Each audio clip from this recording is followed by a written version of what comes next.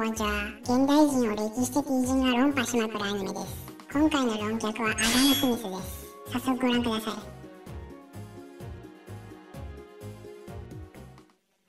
あの先生、おお、宮下か、どうした？あの、なんで僕たちって勉強しなきゃいけないんですかね？あー、そうだなまあ、今働いてる大人たちもみんな、学生時代にちゃんと真面目に勉強してた人たちだからな。みんなそうやって立派な大人になっていってるからな。そのために勉強が必要なんだ。わかったかそ、そうですか。ありがとうございます。あ、あの、お父さん。おい、どうした？あの、なんで勉強ってしなきゃいけないの？あー、そうだな。まあ、今働いてる大人たちもみんな学生時代にちゃんと真面目に勉強してた人たちだからな。みんなそうやって立派な大人になっていってるからな。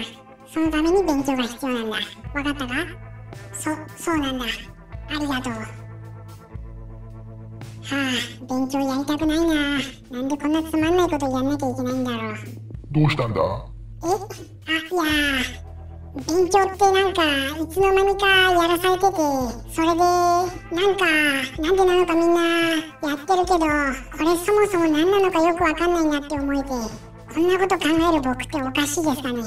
いや、そんなことはないだろう。あ、じゃあなんで勉強しなきゃいけないんですかね？そうだな。例えば洗濯機で洗濯をするのと、洗濯板で洗濯をするのはどっちが効率的だえいや、まあ、洗濯機じゃないですかね。そうだ。究極を言えばこれこそが、なぜ勉強しなきゃいけないのかの答えだ。な、なんですかそれ。どういうことですか？洗濯機は洗濯板に比べて何十倍何百倍の効率で衣類を洗濯することができるだから洗濯機は洗濯板よりも人々を喜ばせそれゆえに人々は洗濯板よりも洗濯機に対してより大きなお金を払ってもいいと思うわけだそれと同じように人間もより大いに人々を喜ばす人の方が見返りが大きくなるそれはどういうことか例えば人々に必要とされているネジがあったとしよう。このネジを1日に100個作る人よりも、1日に1万個作る人の方が、より多く人々を喜ばすことができる。ではどうすればネジを効率的にたくさん作れるか、そのためには、素材をどこから仕入れるか、どういう機械で作るべきか、場所はどこで作った方がいいか、どういう工場で作った方がいいか、そもそも計算はどうやってやるのか、そもそも文字はどうやって読むのか、そういった様々な知識についてよく勉強したものの方がより効率的にネジを作ることができる。そしてより多くのネジを作る人の方が人々をより大いに喜ばせるため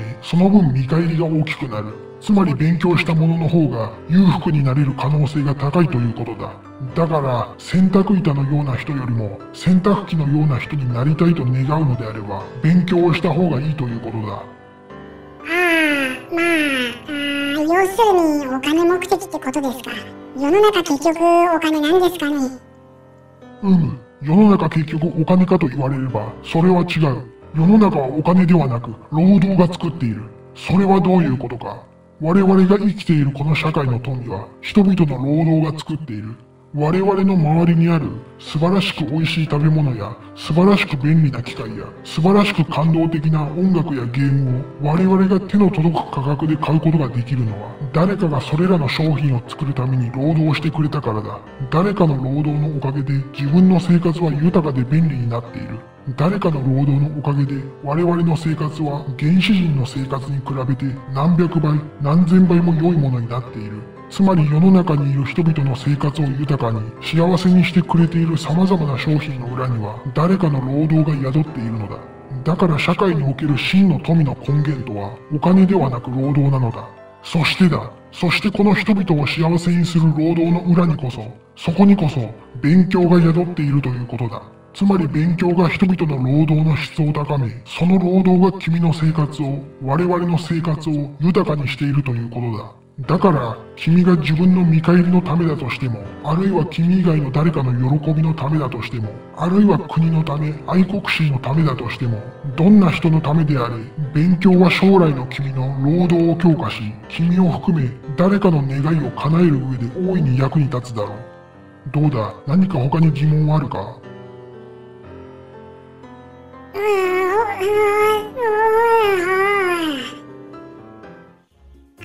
ミスの著書「国富論」にはある高価な機械を据え付けるにあたってはその機械が損耗してしまうまでに普通以上の仕事が達成されなければならないが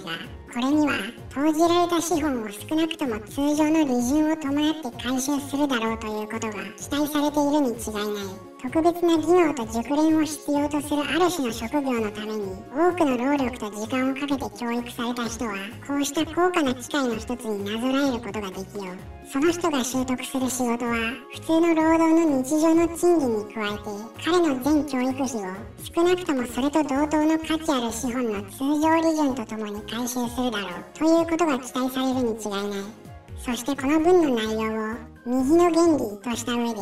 熟練労働の賃金と普通の労働の賃金との差異は右の原理に基づくのであるとありますさらに国民の富は年々の労働の生産物からなりその大きさは労働の熟練の程度と有用な労働者とそうでないものとの割合以下によるとあります。教育についての一つの説を言っています。以上およそ250年前の学者アダム・スミスのお話でした。なおこの作品には大いに制作者の主観が混じっているということをご留意ください。それとこのチャンネルに他にもアダム・スミスの動画があるのでよかったら見てみてください。それではさようなら。